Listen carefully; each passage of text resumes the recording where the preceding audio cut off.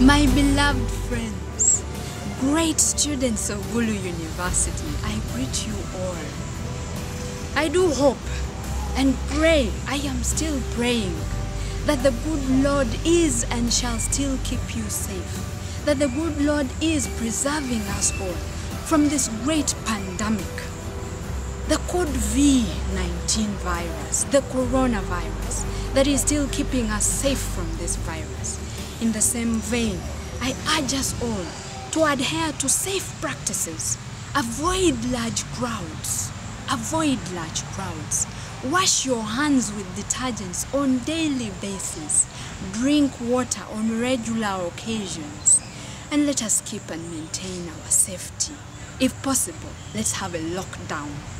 In the same vein, in the same vein, I want to remind you of our unfinished business at Gulu University. Our unfinished business in our university.